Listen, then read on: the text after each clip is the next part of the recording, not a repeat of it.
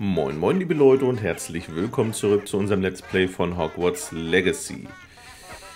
Ja, wir sollen Natti noch beim Schloss Fiberdorn treffen und wir gucken aber mal, ob wir hier in der Region gerade noch was zu tun haben. So, hier gibt es noch ein kleines Banditenlager, das haben wir noch nicht entdeckt und hier gibt es noch ein Astronomiealtar, das haben wir jetzt hier freigeschaltet in der letzten Folge. Ähm, ja, da können wir ein bisschen die Sterne beobachten.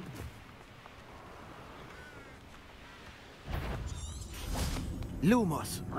Ja, Lumos wollen wir nicht. Dann machen wir nur noch mehr aufmerksam auf uns. Wir wollen stattdessen ein bisschen schleichen und gucken uns hier den Kampf vielleicht gleich mal an.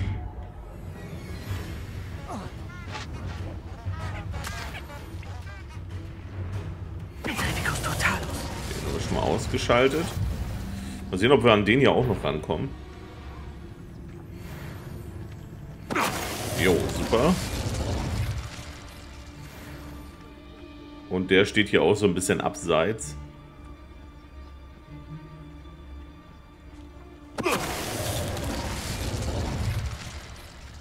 Revelio.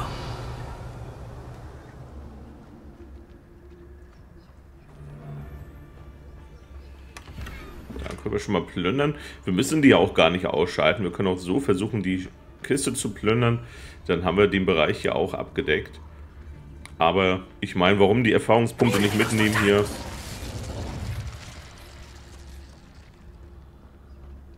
So, ist hier unten alles erledigt? Irgendeiner muss ja überlebt haben. Ah, die Zentauren. Die waren hier unterwegs und haben die schwarzen Magier angegriffen. Findet man vermehrt immer wieder die Zentauren momentan. So, Astronomiealtar holen wir uns dann auch noch. Der ist hier vorne.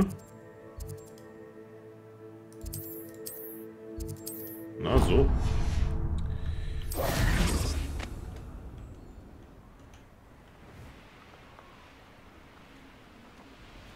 Oh. Hier ist ja noch eine. Das muss mal sehen. Ah.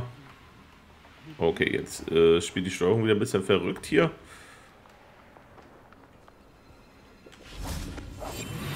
So, auch hier gehen wir dann noch mal kurz rein. Sehr viele Gegner. Da weiß ich nicht, ob wir das alles so schaffen. Wir versuchen es natürlich. Schön, wie sie alle mit dem Rücken zu uns stehen. Wie für uns gemacht. Wehe, wenn das ein Trick ist. Ja, kümmern wir uns erstmal um den hier. Ach, guck mal, der hat uns auch fast entdeckt. So, ich würde den hier erstmal ausschalten. Damit er uns nicht in den Rücken fallen kann. Revelio.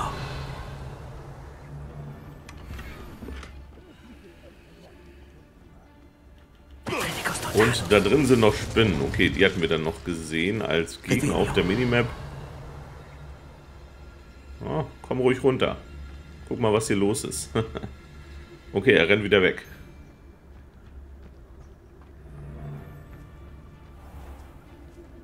Entweder füttert man das Tier wieder. Ruhe.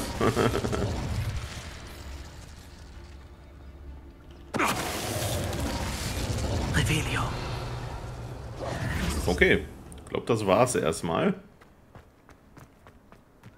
Und die Schatzkiste haben wir auch schon geplündert. Wir wollen aber auch das Tierchen hier noch befreien. Hallo Homora.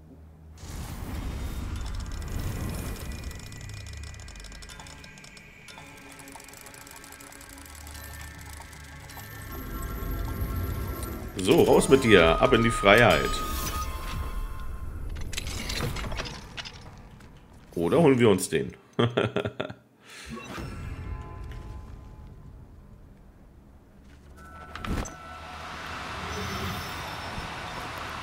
Komm schon.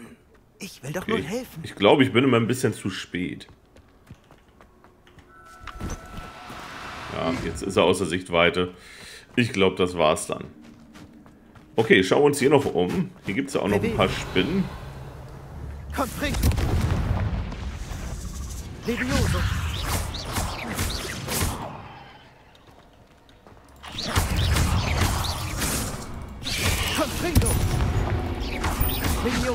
Accio.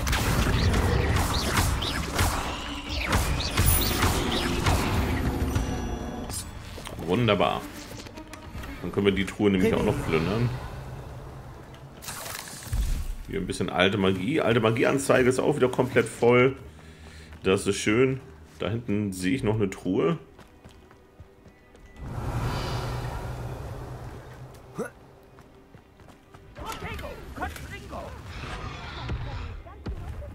Ach, guck mal, hier ist auch noch einer gefangen. Wollen wir den auch noch befreien?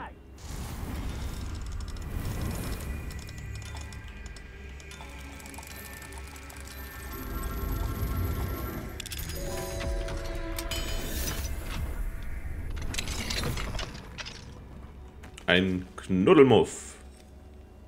Na komm, geh raus. Okay, du willst anscheinend nicht befreit werden. Upsala, so rum.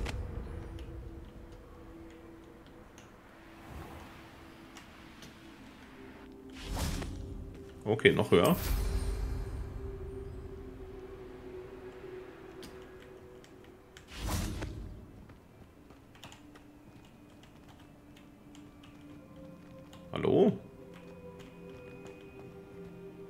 Achso, können nur nachts benutzt werden. Ja klar, macht Sinn.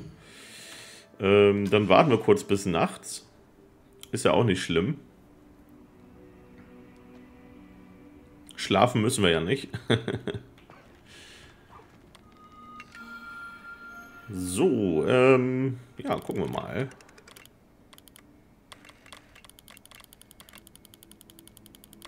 Okay, so. Ja, müssen wir nur noch ein bisschen weiter raus. Da ist er. Ein Drache. Und wir erhalten wieder einen Talentpunkt. Wir können mal schauen, was für Talentpunkte wir jetzt hier noch haben. Haben wir schon lange nicht mehr reingeschaut. Sieben Talentpunkte haben wir noch. Ähm, da können wir fast alles sogar auswählen. Dunkle Künste haben wir noch gar nicht. Kommt aber hoffentlich noch. Flipendo hat auf Gegner denselben Effekt wie ein Fluch. Verfluchte Gegner erleiden erhöhten Schaden. Stupor. Ja, das nutzen wir ja leider so gut wie gar nicht. Arrest Momentum hat auf Gegner denselben Effekt wie ein Fluch. Nutzen wir eigentlich so auch nicht. Und den Rest können wir noch nicht so wirklich freischalten. Können auch mal hier in die Zaubersprüche schauen. Depulso löst eine zusätzliche starke Explosion in deiner unmittelbaren Umgebung aus. Das können wir auf jeden Fall mal nehmen. Depulso machen wir doch hier und da mal. Defendo machen wir eigentlich auch hier und da mal. Schneiden durch betroffene Gegner, um zusätzliche Ziele zu treffen. Ja, nehmen wir mal mit. Descendo, das nutzen wir eigentlich nicht. So, Bombarder haben wir noch nicht. Und Treffer mit dem Verwandlungszauber verwandeln Gegner in explosive Objekte haben wir auch noch nicht. Haupttalente. Da könnten wir nochmal reinschauen. Halte Ausweichen gedrückt, um plötzlich zu verschwinden und in der Nähe wieder aufzutauchen. Ja, könnte man auswählen. Stupor und Protego nutzen wir so ziemlich nicht. Deswegen würde ich die erstmal nicht nehmen. Ein perfekt abgestimmter Protego-Zauber auch da. Stupor-Treffer verursachen direkten Schaden. Den können wir nochmal mitnehmen. Ach, verdammt. Nee, nutzen wir ja auch nicht. Da habe ich mich jetzt ein bisschen vertan. Schade, haben wir einen Punkt verschenkt. Ähm, ja, halte Ausweichen gedrückt. Machen wir das, machen wir das nicht. Wir nehmen den mal mit. Warum nicht? So, Schleichen haben wir schon alles ausgewählt. Raum der Wünsche. Der Edorus-Trank macht dich unverwundbar und reflektiert Projektile auf Gegner zurück. Die Wirkung des Unsichtbarkeitstranks hält länger an. Für jeden geworfenen chinesischen Kaukohl wird ein zweiter Kaukohl kostenlos erzeugt und freigegeben. Das nehmen wir mal mit. Das ist, glaube ich, gar nicht verkehrt. Der Schaden und die Dauer des Kampfunfähigkeitseffekts von Alraunen sind erhöht. Der Maxima-Trank verleiht Angriffen zusätzlich erhöhten Schaden und die Fähigkeit, Schutzzauber zu durchbrechen. Ja, Tränke nutzen wir eigentlich kaum. Angriffe der Venimosa Tentacula verursachen zusätzlichen Schaden und können Schutz durchbrechen. Das nehmen wir mal mit und ich glaube, das nehmen wir auch nochmal mit, die Alraun. Äh, Pflanzen nutzen wir hier und da vielleicht mal in den Kämpfen. Deswegen können wir das mal mitnehmen. Okay, da haben wir dann auch schon wieder alle Talentpunkte hier aufgebraucht. So, was haben wir hier noch in der Nähe? Bisher nichts, zumindest wird nichts angezeigt. Die Höhle des Flüchtigen, vielleicht können wir uns da mal jetzt umschauen. Äh, Stufe 30 wird vorausgesetzt, wir sind Stufe 31, glaube ich. Ähm, vielleicht haben wir dann doch ein bisschen leichteres Spiel, müssen wir mal schauen, was uns dort so erwartet.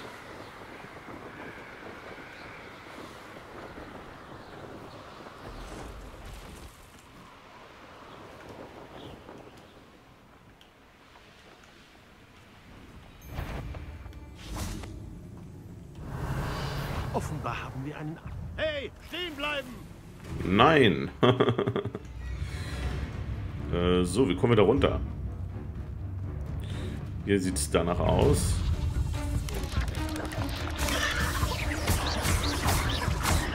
Das geht ja schon gut los hier. Levioso.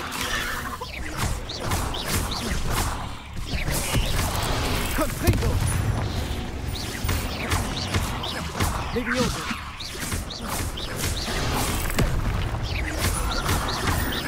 Confringo.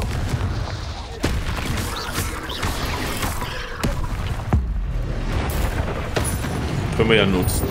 Hier liegen nämlich schon wieder solche Dinger rum. Und dann haben wir die Spinne nämlich auch ausgeschaltet. Sehr schön. Confringo.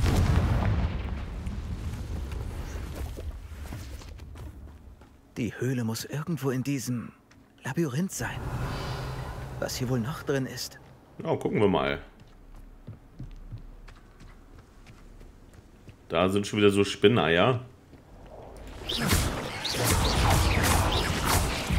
Boah, die sind doch ziemlich stark hier, die Gegner.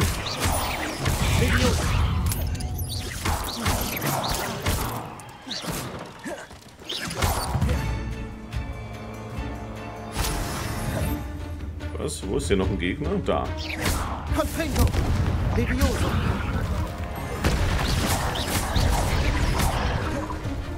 Schon wieder so eine Matriarchin. Da lohnt sich das auf jeden Fall, die alte Magie mal zu nutzen. Confringo.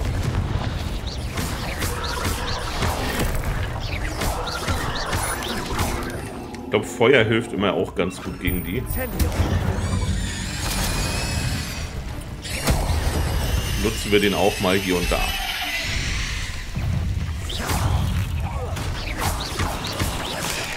Levioso. Incendio. Confringo. So, weg mit euch. Revelio. Da. Ne, kommt doch keine. Sieht nur so aus.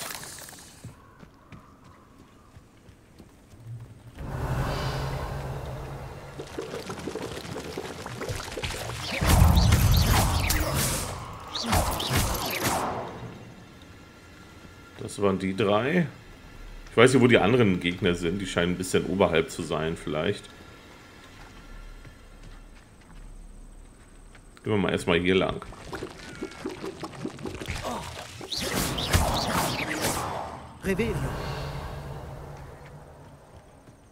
Okay, da kommen wir nicht hoch.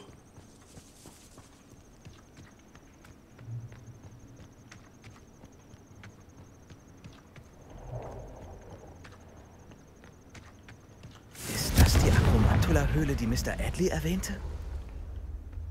Romantula. Okay, eine Riesenspinne. Kleiner Bossgegner, vergrabe den Kopf einer Akromantula im Boden. Ja, wie soll ich das denn machen? 35. Incendio. Confringo.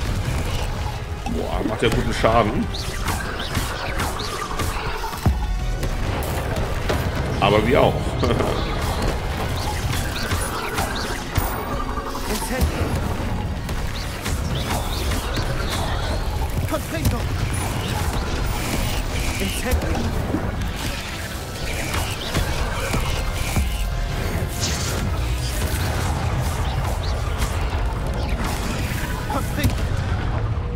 Okay.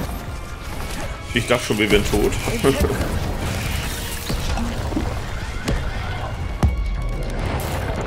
alte Magie nutzen. Und dann haben wir ihn auch gleich.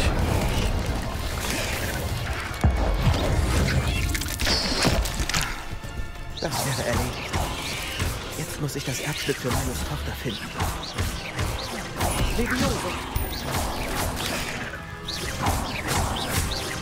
Confringo.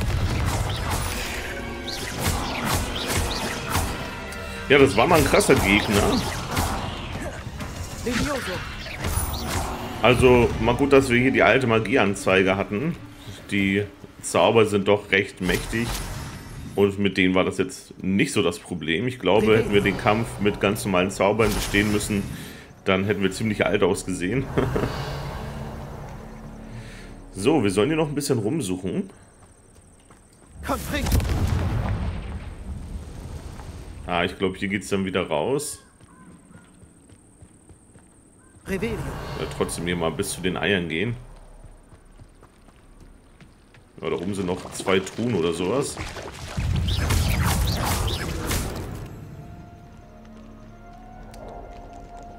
Revelio. Legioso. Incendio.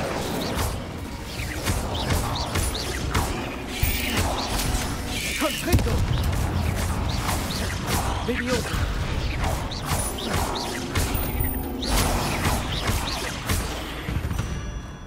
So, das waren die beiden Spinnen. Dann können wir hier die Truhen noch plündern. Die beiden. Ja, schön, dass wir uns nochmal umgeschaut haben. Und ich glaube, da geht es dann in die Richtung, wo wir herkamen. Okay, ich würde hier nochmal reingehen tatsächlich. Ähm, hier wird nämlich auch der Bereich angezeigt. Finde das Erbstück, das Milo zurückließ. Ja, vielleicht hier. Confringo.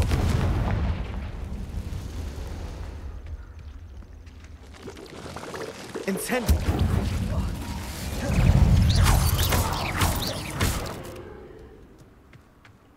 Ich muss Mr. Da ist die Taschenuhr. Bringen. Revelio.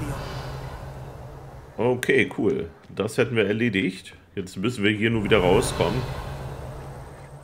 Können wir den Weg mal gehen. Confringo.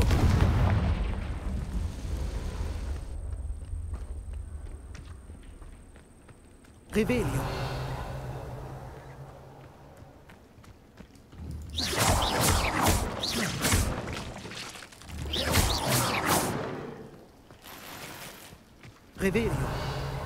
Ja, mega Powertränke haben wir gerade ein bisschen Mangel. Sieben Stück haben wir nur noch. 25 kann man haben, da waren wir oft am Limit. Aber mittlerweile sieht das Ganze schon wieder anders aus. Okay, ich glaube, wir sind draußen. Und dann wollen wir ihm mal seine Taschenuhr zurückbringen.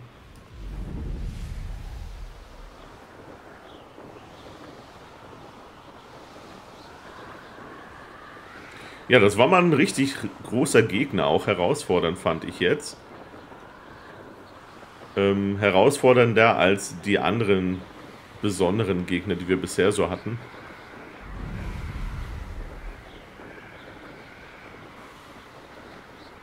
Mal sehen, ob wir hier rüberkommen. Ja, das sieht gut aus.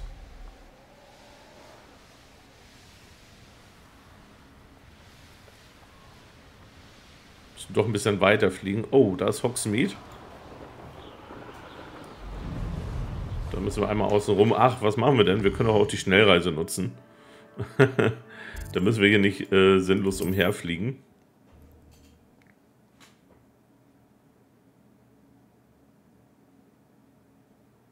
Das ist ein Ort wie aus dem Märchen. Tja. So, Edgar.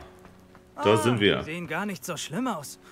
Haben Sie die Höhle des Flüchtigen dann also doch nicht betreten? Na doch, wir waren drin. Mr. Edley, ich habe die Taschenuhr, die Milo bei sich trug. Bei Merlins Bad. Wie haben Sie... Ich will es gar nicht wissen. Eigentlich will ich nie wieder an diese Akromantula denken. Ich danke Ihnen. Vielen Dank. Ja, erst eine Belohnung. Das war gar nicht so einfach zu bekommen. Habe ich mir keine Belohnung verdient? Ich, äh, natürlich bezahle ich sie gerne. Aber ich habe nicht viel.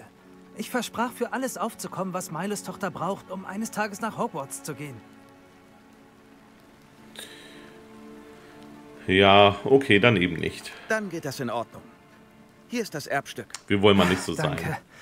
Ich weiß, dass Milos Tochter sich über sie freuen wird. Was verkaufen Sie hier? Ja, dann verkaufen wir mal direkt Milo unsere Sachen in noch. Frieden ruhen. Seine Wünsche wurden erfüllt und seine Tochter hat etwas, das sie an ihn erinnert. Ah, ich fülle immer gern meine Vorräte auf. War mir ein Vergnügen. Das ist schön. Ja, wir müssen ein bisschen Sachen loswerden. Inventar war doch schon ziemlich voll. Und das sind alles Sachen, die brauchen wir nicht. Sind ein bisschen schlechter als unsere. Zumindest von den Werten her. Die Eigenschaften, die können wir selber ja nochmal austauschen.